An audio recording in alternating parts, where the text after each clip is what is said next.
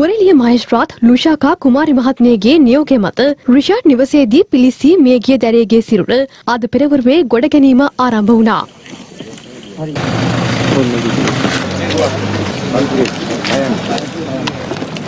පශ්චාත් මරණ පරීක්ෂණය සඳහා පත් කෙරුණු වෛද්‍ය මණ්ඩලයේ සමාජිකින්ද මෙම ස්ථානයට පැමිණියා.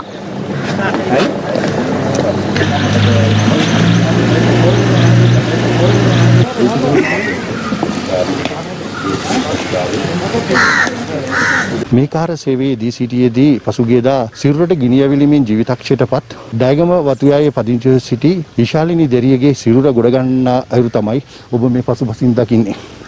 නුවරඑළිය මහේස්ත්‍රාත්වරියගේ සහ සිරුර ගොඩ ගැනීමට අධිකරණයෙන් පත් කරන ලද විශේෂඥ වෛද්‍යවරුන් තිදෙනෙකු යටතේ සිරුර ගොඩ ගැනීමේ කටයුතු අද උදෑසන 9:30ට ආරම්භ කරනු ලැබුවා. අද උදෑසන සිට මේ ඩයගම වතුයායේ පිහිටි පොදු සුසාන භූමිය අවට දැඩි පොලිස් ආරක්ෂාවක් යොදා තිබෙනවා. විශේෂයෙන්ම ඩයගම පොලිස් බල ප්‍රදේශයට අවට පොලිස් ස්ථාන වලින් විශාල පොලිස් නිලධාරීන් කණ්ඩායමක් ඇඳවලා ඔවුන් ආරක්ෂාට යොදා තිබෙන ආකාරයක් අපිට දක්නට ලැබෙනවා. සියත ප්‍රවෘත්ති අංශය වෙනුවෙන් රංජිත් රාජපක්ෂ ඩයගම ප්‍රදේශයේ සිට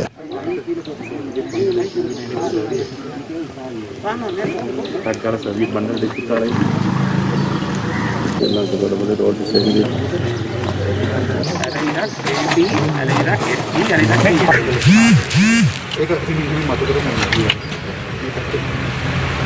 ඒක තමයි ඒක ගෝබල් කියලා කරන්නේ ඒක තමයි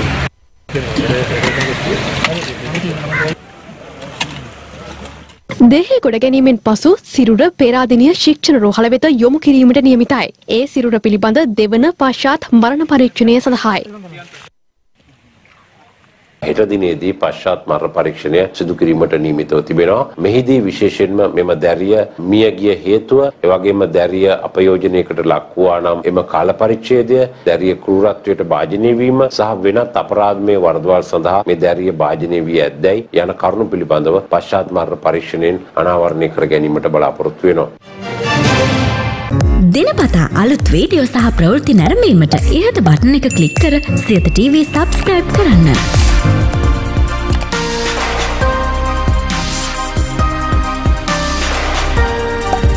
අලුත් වීඩියෝ ගැන මුලින්ම දැනගන්න මෙම සීනුව ක්ලික් කරන්න.